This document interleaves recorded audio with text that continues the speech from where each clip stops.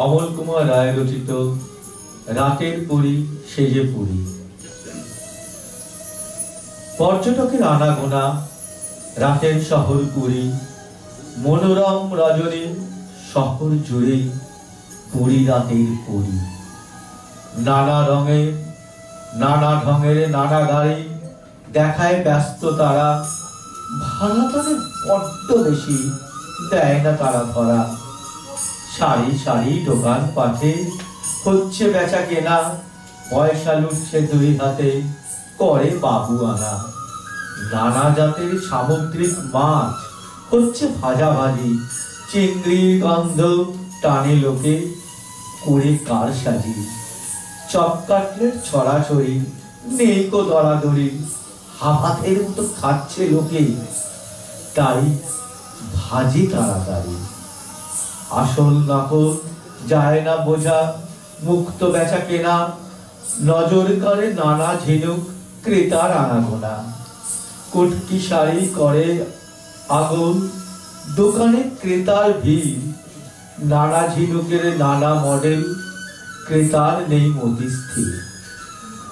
সাগর ঢেউ দেখায় খেলা, নেই যে চাঁদের আলো, অবাক হয়ে দেখে সবাই। চেয়ারে বসে ভালো। উঠ চলেছে সাগর পারে পয়সা লুটছে কেউ। ঘুরে বেড়ায় পিঠে চড়ে, দেখে সাগরের ঢেউ। প্রেমিক, প্রেমিকার নানা রঙ্গ, দেখি চেয়ারে বসে ঝালমুড়ি দেয় আনন্দ খেলাম হেসে হেসে মন খারাপ হাঁপিয়ে ওঠে। আছে আছে আরও মজা। পুরী হয়েছে রাতের পুরী। না দেখলে পায়ে সাজা। রানারের অব্যাহতি কমল কুমার রায়ের লেখা। রানারেরা নেই যে আর, বেঁচেছে হারিয়ে গিয়ে। ছুটে চলে ট্রেন, বিমান, চিঠিগুলো সাথে নিয়ে। দিন পুড়িয়ে রাজ্য পুরোয় দুরন্ত বেগে ট্রেন চলে। যায় যে পৌঁছে আরও আগে, রানার আগে যায় না বলে।